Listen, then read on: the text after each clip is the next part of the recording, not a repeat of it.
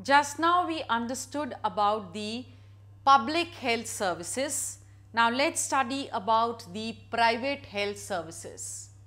Private health services are again a chain of clinics, hospitals, nursing homes, registered medical practitioners, doctors, labs where x-rays and ultrasounds are done. So, all these collective are called as the private health services.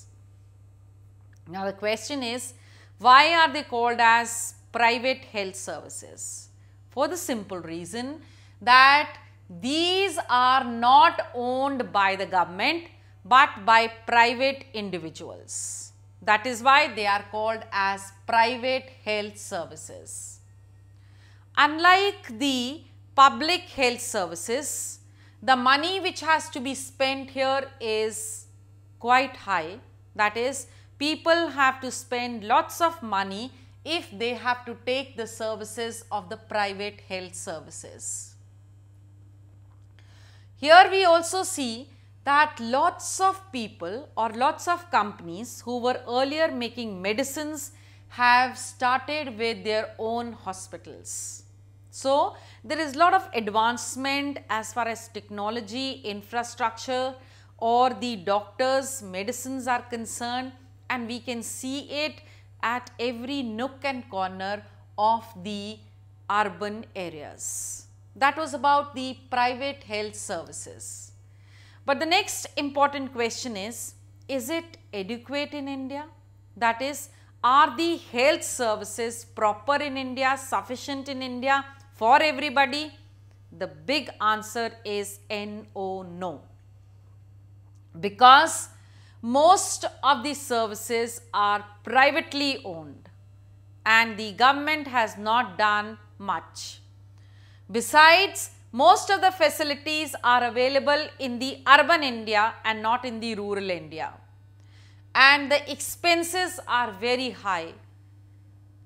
The simple process by which the doctors can actually cure a person is not used, but a complex method is employed. The medicines which are given are very high and expensive. The tests are prescribed which are actually not required. All this means that it is a very expensive affair in India. 40% of the people in India find it difficult to get proper health services in India. And the poor people, for them, it's like a double-edged sword. Because First of all, it is very expensive, it is beyond their reach and secondly, they again and again fall sick. Because they are undernourished, they do not have proper drinking water, they do not get adequate to eat well. And when the money is so high, that is when the expenses are so high, the people or the persons who get the most neglected in the family are the women because the women's health is not given as much importance as it should be in India.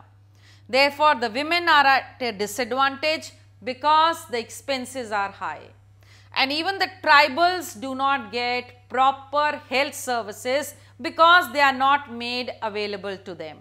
Therefore, the system of health services in India is rather very, very poor.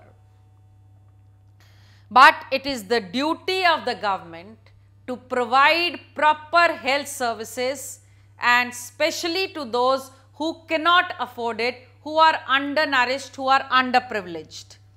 And according to the Constitution of India, there is right to life and under it, it is the duty of the government to provide proper health services.